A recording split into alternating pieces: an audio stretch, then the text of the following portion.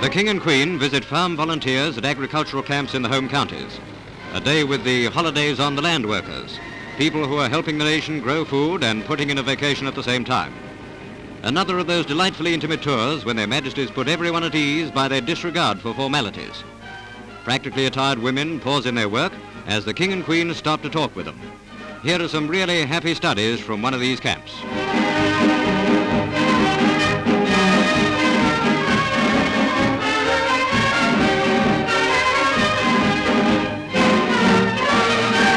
Tea time sees the King and Queen having a meal with hungry volunteer farm workers.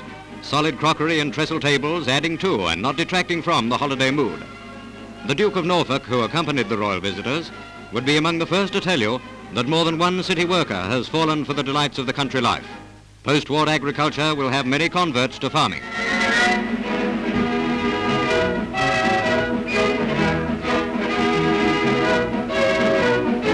Following day, the King and Queen were at anti-aircraft gun sites in the south of England, where the Battle of the Flying Bomb is being fought.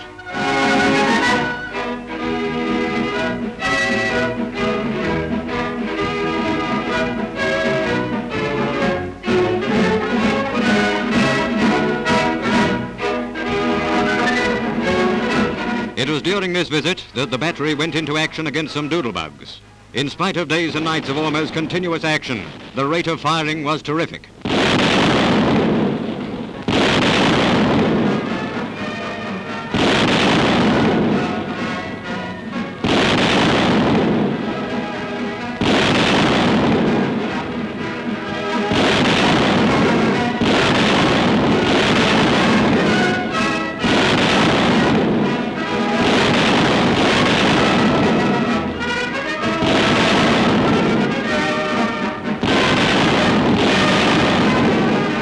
Not until the last of the robots had passed did the King and Queen leave.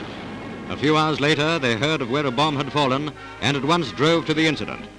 They walked amid the wrecked houses and shops, talking to men and women who had been blasted from their homes. No account had been taken for this in the royal visit, but the King and Queen made it their concern to go among their people in distress.